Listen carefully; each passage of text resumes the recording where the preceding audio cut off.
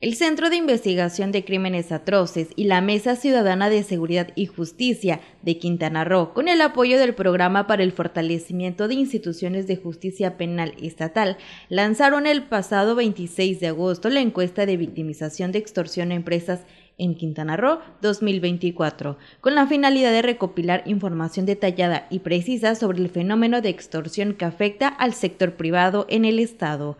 De acuerdo con el coordinador general de las Mesas Ciudadanas de Seguridad y Justicia, James Tobin, hasta el momento solo 62 empresas han respondido esta encuesta, la cual es totalmente anónima, confidencial y en línea, ya que los datos serán utilizados exclusivamente para fines de investigación.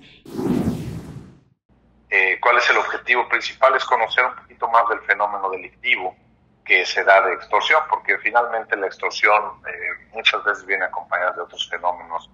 Desconocemos cuáles son, de hecho de eso se trata un poco la encuesta, para conocer más de cuáles son las raíces del problema y cuáles son las medidas para poder contenerlo. Eh, mucho de esto seguramente será un tema de educación hacia los ciudadanos, eh, puedan tener, eh, puedan ser más cuidadosos cuando contesten llamadas, cosas así. Eh, iniciamos el 26 de agosto, llevamos solo 62 encuestas hasta el día de ayer contestadas. Y las encuestas pues, son importantes para nosotros porque es un instrumento que sirve para poder medir, entender y entregar información a las autoridades correspondientes para que hagan un trabajo eh, más focalizado. Se detalló que de las empresas que han contribuido con su experiencia, 25 son del municipio de Benito Juárez, 23 de Solidaridad, 7 de Tulum, 5 se encuentran en Cozumel, 1 en Otompe Blanco y Puerto Morelos, por lo que hay una baja participación cuando la meta es llegar a por lo menos a 500. Así que la encuesta estará disponible hasta el próximo 29 de septiembre.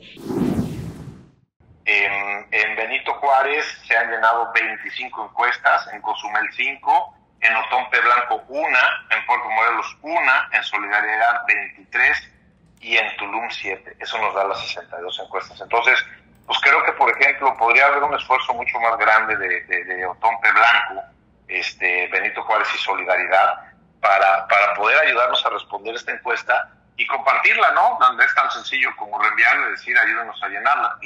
Termina el 29 de septiembre. El 29 de septiembre esperamos tener eh, al menos 500 encuestas contestadas.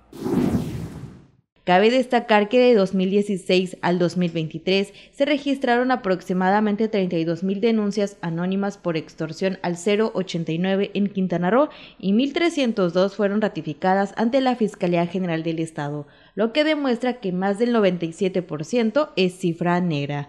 Los resultados de esta encuesta se darán a conocer dos semanas después de que haya finalizado, pues el Centro de Investigación estará analizando las respuestas de las empresas. Con imágenes de Ricardo Vallejo informó para Notivisión Cilia Fernández.